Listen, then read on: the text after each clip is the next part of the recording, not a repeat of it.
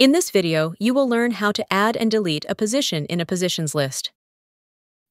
In EMS, click the Human Resources button, then click Position Management from the submenu.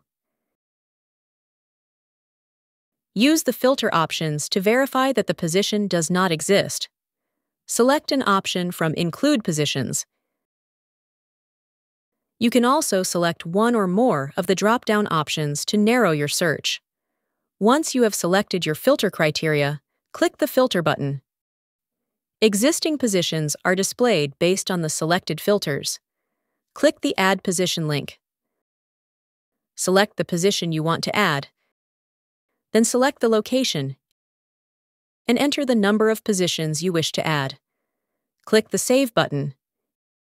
You have now successfully added a position to the positions list.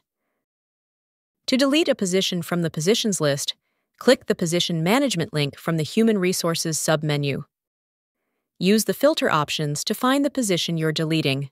Select an option from Include Positions. You can also select one or more of the drop-down options to narrow your search.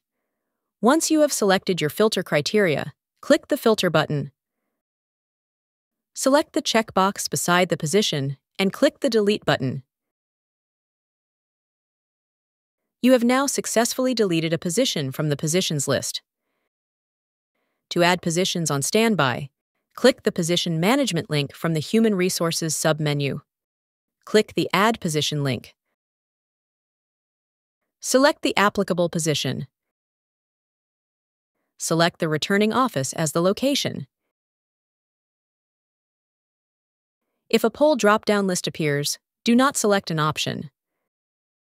Select the number of positions that you require. Click the Save button. You have now successfully added a position on standby. Note, positions on standby are always assigned to the returning office without a poll number. These resources report to the returning office until they are assigned to a poll, to another position, or sent home.